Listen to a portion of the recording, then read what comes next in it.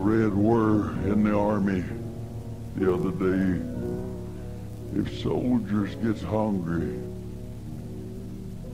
they get hard to control. They become dangerous when they get to starving.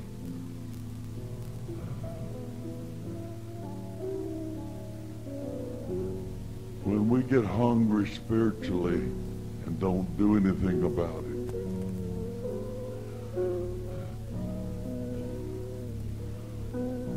we're causing someone to remain out there in the cold.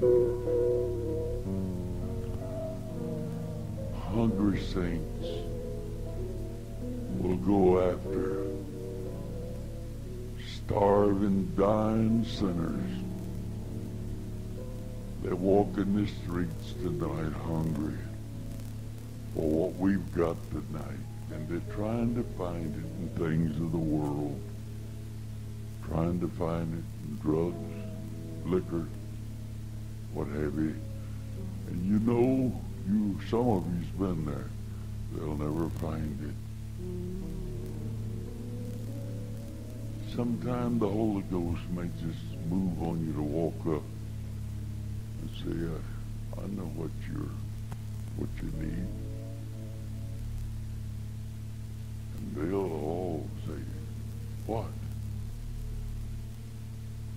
your heart is crying out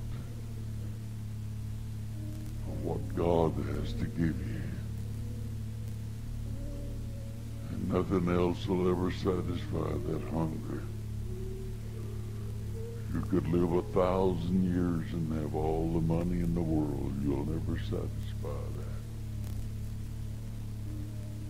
That hungry God put there for himself.